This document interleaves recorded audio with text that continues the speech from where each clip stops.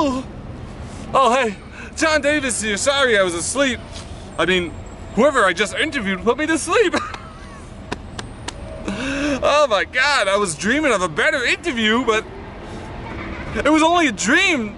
There is nobody else better to interview in the WWE. I might as well just interview myself. Hey, John, how do you feel?